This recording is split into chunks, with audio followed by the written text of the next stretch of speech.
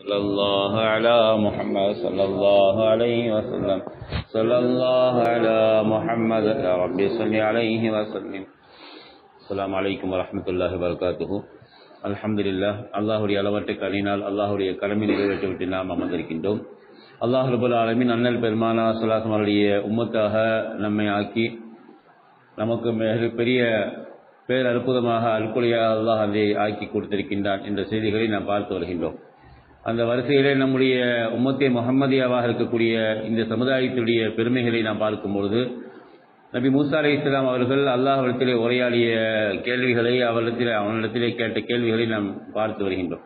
அந்த வரிசையிலே பார்க்கும்பொழுது நபி மூசா அலி இஸ்லாம் அவர்கள் நான்கு கேள்விகளை கேட்ட பிறகு ஐந்தாவது கேள்வியாக அல்லாஹிடத்திலே கேட்கின்றார்கள் யா அல்லாஹ் லவுல் மஹ்பூல் பலகையிலே நான் கண்டேன்.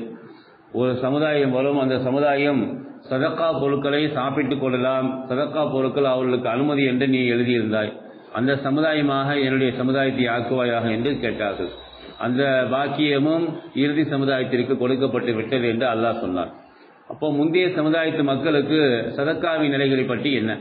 பொதுவாக இஸ்லாத்திலே நான் பார்க்கும் பொழுது மற்ற மதங்களில் இல்லாத ஒரு அற்புதமான ஒரு விஷயம் என்னவென்று சொன்னால் நம்முடைய பாவங்களுக்குரிய பரிகாரமும் நம்முடைய பாவங்கள் மன்னிக்கப்பட்டு நம்முடைய வாழ்க்கையிலே நிறைய நன்மைகள் கிடைக்கப்பட வேண்டும் என்று சொன்னால் நாளை மறுமையிலே அல்லாஹுடைய சன்னிதானத்திற்கு முன்னால் நாம் தலை நிமிர்ந்து நிற்க வேண்டும் என்று சொன்னால் பெருமையோடு கண்ணியத்தோடு அல்லாஹுடைய ரகமத்தையும் வரக்கத்தையும் உதவியும் பெற வேண்டும் என்று சொன்னால் உலகத்தில் சில செயல்பாடுகளை இஸ்லாமிய மார்க்கும் நமக்கு வரையறுத்து கொடுத்திருக்கின்றது. அந்த செயல்களை நாம் மற்ற மார்க்க மதங்களிலே பார்க்கும்பொழுது அது ஏனோதானோ என்பதாகத்தான் செய்வார்களே தவிர அதற்கென்று ஒரு முக்கியத்துவம் கொடுக்கப்பட மாட்டாது. இஸ்லாத்திலே மட்டும்தான் அந்த சின்ன ஒரு செயல்பாட்டிற்கு கூட அல்லாஹ் ஆலமி நிறைய நன்மைகளை கொடுப்பார் அந்த வரிசையில பார்க்கும்பொழுது அந்த வரிசையில முக்கியமான இடத்தில் இருப்பது சதக்காக்கள் தான தர்மங்கள். அப்போ தான தர்மங்களை யாருக்கு கொடுக்கிறது என்று நாம் பார்க்கும்போது அல்லாஹர்புல் ஆலமின் குரானில ஜக்காத்தி பற்றி சொல்லும்பொழுது ஜக்காத்தி என்பதும் ஏழை வரிதான். அதுவும் சதக்காவை போன்றுதான். ஆனால் அது கடமையானதாக இருக்கும். ஜக்காத் என்பது கடமையான ஏழை நிதி. அதே சமயத்திலே சதக்கா என்பது நபிலான வணக்கம். அப்போ இரண்டுமே பார்வையில ஒன்றுதான் அதனுடைய பெயர் தான் வேறு சட்டங்கள் வேறு. இப்போ ஜக்காத் என்பது எப்படின்னாக்கா கடமையான மட்டும்தான் கொடுக்க வேண்டியது. நாம் அதை அடுத்து பார்ப்போம். அது வந்து யாருக்கெல்லாம் அல்லாஹ் கடமையாக்கினாலும் எந்தெந்த ரூல்ஸ் எல்லாம் இருக்கின்றதோ அவர்களுக்கு மட்டும்தான் ஜக்காத் கடமையாகும். அப்போ அது சம்பந்தமான விஷயங்கள் வேறு. சதக்கா என்று நாம் பார்க்கும் பொழுது சதக்காக்களை பற்றியும் அல்லாஹ் ரபுல் ஆலமின் குரானிலே பல இடங்களிலே அல்லாஹ் சொல்லி காட்டுவார் இன்றைக்கு தொழுகையில ஓதிய வசனங்கத்தில் கூட அல்லாஹ் ரபுல் ஆலமின் உங்களுடைய சதக்காக்களை நீங்கள் நோவினை தருவதை கொண்டும் சொல்லி காட்டுவதை கொண்டும் உங்களுடைய சதக்காக்குடைய நன்மைகளை நீங்கள் வீணாக்கி விடாதீர்கள் என்று அல்லாஹ் சொல்லுவான். அப்போ லா துபத்தில் சதகாத்திக்கும் பில் மன்னி வல் அதா என்ற வார்த்தையை அல்லாஹ் ரபுல் ஆலமின் குரானில் நமக்கு சொல்லித் தருகின்றார். அப்போ சதக்கா என்று சொன்னால் தமிழ் அர்த்தம் தர்மம் என்று அர்த்தம். உலகத்திலே தர்மத்தை இஸ்லா தர்மத்தை பற்றி இஸ்லாத்தை தவிர வேறு எந்த மதத்திலும் மிக சிறப்பிற்குரியதாக உயர்ந்ததாக சொல்லப்படவே இல்லை என்பதை நாம் அனைவருமே அறிந்தவர்களாக தான் இருக்கின்றோம். அப்போ சதக்கா என்பது கொடுப்பதற்கு நாம் எல்லோருமே தயாராக இருக்க வேண்டும். நம்மிடத்தில் வரக்கூடிய இருக்கக்கூடிய பணத்திலும் சரி பொருளாதாரத்தில் ஒரு ரூபா இருந்தால் அதில் ஐம்பது காசு. அப்போ எவ்வளோ இருக்குதோ அதில் பாதியோ எவ்வளோ முடியுமோ நம்முடைய சக்திக்குட்பட்ட அளவிற்கு நாம் என்ன செய்யலாம்? சதக்காக்களை தான தர்மங்களை யார் வேண்டுமானாலும் கொடுக்கலாம். பணம் இருப்பவர்கள் தான் கொடுக்கணும் பணம் இல்லாதவர்கள் கொடுக்கக்கூடாது என்றெல்லாம் கிடையாது. சதக்கா என்பது நப்பிலான வணக்கம். அல்லாஹுடைய நெருக்கத்தையும் அல்லாவுடைய பொருத்தத்தையும் பெருமானாருடைய பிரியத்தையும் பெற வேண்டும் என்று சொன்னார். நாம் யார் வேண்டுமானாலும் சதக்கா கொடுக்கலாம். ஆனால் சதக்கா பெறுவதற்கு தகுதியானவர்கள் யார் என்று நாம் பார்க்கும் பொழுது யாருக்கு வேண்டுமானாலும் கொடுக்கலாம். ஆனால் களிமா சொன்ன முஸ்லீமுக்கு கொடுக்கும் பொழுது அது நன்மை அதிகமாக நமக்கு பெற்றுத்தரும். காஃபியில் கொடுக்கும் பொழுது அது நன்மை அவருடைய கஷ்டத்தை போக்குமே தவிர பெருமானாருடைய ஹதீஸின் படி யாரெல்லாம் சிரமப்படுகின்றார்களோ அவர்களுக்கு உதவி செய்வது என்ற வகையில பார்க்கும் பொழுது அது காஃபிலா இருந்தாலும் சரி முஸ்லீமா இருந்தாலும் சரி அது பிரச்சனை கிடையாது.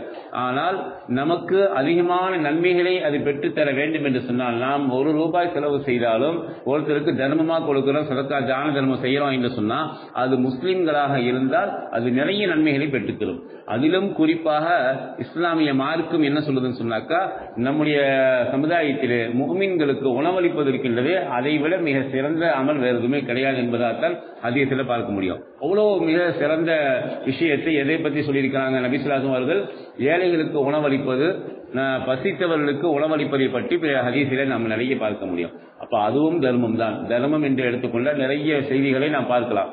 சுருக்கமாக பார்க்கும் பொழுது தர்மம் என்று பார்க்கும் பொழுது முந்தைய சமுதாயத்து மக்களுக்கு அந்த சதக்காக்குடைய நிலைமைகள் என்ன? எல்லாரும் என்ன செய்வாங்க சொன்னாக்கா சதக்கா செய்ய வேண்டும் என்று சொன்னால் சதக்கா பொருட்கள் எல்லாம் வெட்ட வழியில மைதானத்துல வச்சிருவாங்க. வானத்திலிருந்து ஒரு நெருப்பு வந்து அதை கரிச்சிட்டு போயிடும். அப்போ இப்படித்தான் இருக்குமே தவிர யாரும் சதக்கா பொருட்களை சாப்பிடக்கூடாது ஹராம். எல்லா சமுதாயத்து மக்களுக்கும் நமக்கு முன்னால் வந்த எல்லா சமுதாயத்து மக்களுக்கும் இப்படித்தான் சதக்காவுடைய பொருளை பற்றி மார்க்கம் சொல்லித் தருகின்றது. அதிலும் குறிப்பாக நபிமார்களும் சரி மற்றவர்களும் சரி யாருமே இந்த சமுதாயத்திலே நபிமார்களுக்கு அல்லாஹ் நம்முடைய பெருமானாருக்கு சதக்கா பொருட்களை அல்லாஹ் ஹராமாக்கி வச்சிருந்தான்.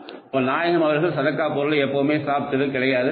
சதக்கா பொருட்களை வந்தால் அவர்கள் அப்படியே மற்றவர்களுக்கு தான் கொடுத்துடுவார்கள் தவிர அவர்கள் சாப்பிட மாட்டாங்க. அன்பளிப்புகளை சாப்பிடுவாங்க.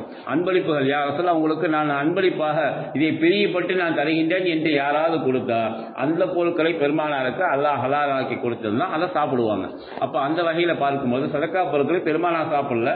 ஆனால் மற்றவர்கள் சாப்பிடுவதை யாருக்கெல்லாம் தகுதி உடையவர்களாக இருக்கின்றார்களோ அவர்கள் சாப்பிடுவதை நபிசுலாசம் அவர்கள் தடுக்கவில்லை. அப்ப நாம அந்த விஷயத்துக்கு போகல. சாப்பிடாம சாப்பிடக்கூடாதா எந்த விஷயத்துக்கு நாம் போக வேண்டிய அவசியம் இல்லை. அது மார்க்கத்தில் அனுமதிக்கப்பட்ட விஷயம். அப்போ கொடுப்பவர்கள் இருந்தால் வாங்குபவர்களும் இருக்க வேண்டும் அல்லவா? அதனால்தான் நபிசுலாசம் அவர்கள் சொல்கின்றார்கள் நீங்கள் கொடுப்பவர்களாக சதக்காக்களை தான தர்மங்களை முஸ்லீம்களுக்கு கொடுக்கும்போது நன்மைகள் நமக்கு அதிகமாக கிடைக்கும். காரணம் அவர் களிமா சொன்னவராக இருக்கிறார். அந்த களிமா சொன்ன முஸ்லீமுடைய கஷ்டத்தையும் அவருடைய பசியையும் போக்கக்கூடிய நேரத்தில் அவர் என்ன செய்வார்?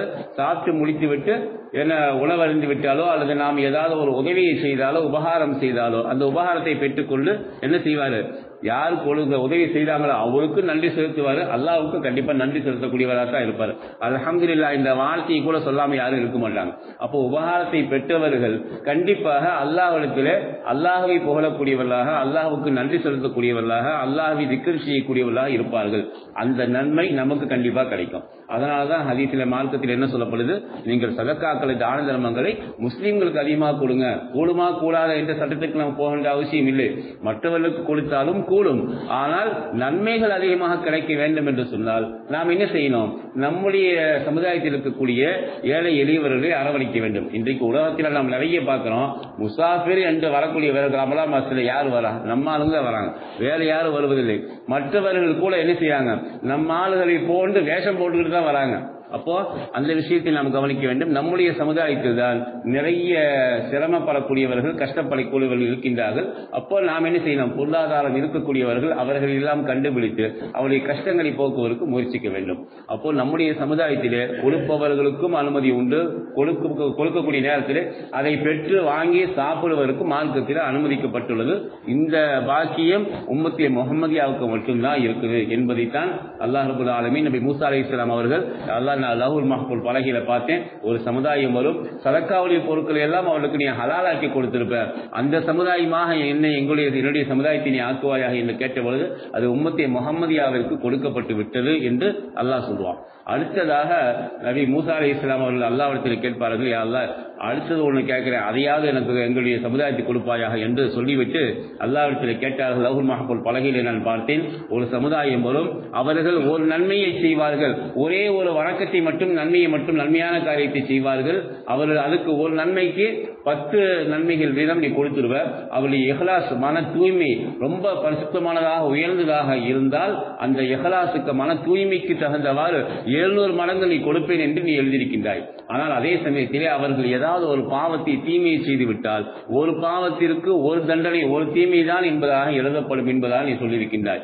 ஆகினால் அந்த சமுதாயத்திலேயாவது எங்களை ஆக்குவாயாக என்று கேட்டார்கள். அதுவும் உம்மத்தை முகமதியாவுக்கு கொடுக்கப்பட்டு விட்டது என்று அல்லாஹ் சொல்லுவான். இப்போ இந்த விஷயத்தை பற்றி நாம் பார்க்கும் பொழுது குரானில் அல்லாஹ் ரபுல் ஆலமீன் நிறைய வசனங்களிலே அல்லாஹ் நமக்கு சொல்லித் தருகின்றார். பெருமானார் நமக்கு சொல்லித் தருகின்றார்கள்.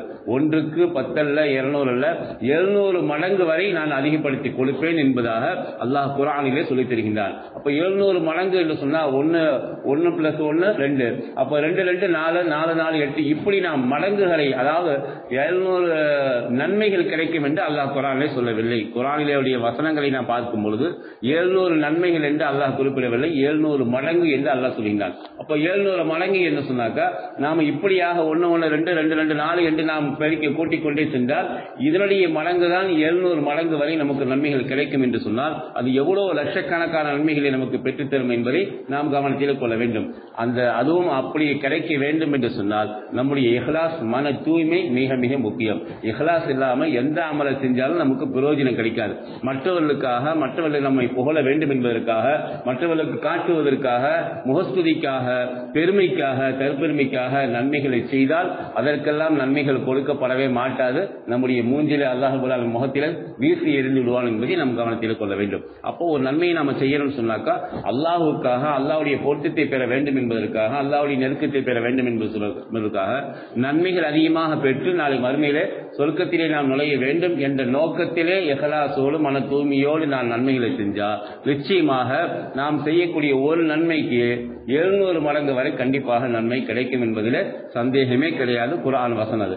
அதைத்தான் நபி மூசா அலி இஸ்லாம் என்ன சொல்லாங்க எழுநூறு மடங்கு வரை ஒரு நன்மைக்கு நீ நன்மை தருவேன் என்று சொல்லிவிட்டு ஒரே ஒரு பாவத்தை செய்தால் ஒரு தீமை தான் எழுதப்படும் ஒரு பாவம் தான் எழுதப்படும் என்று சொல்லியிருக்கின்றாய்.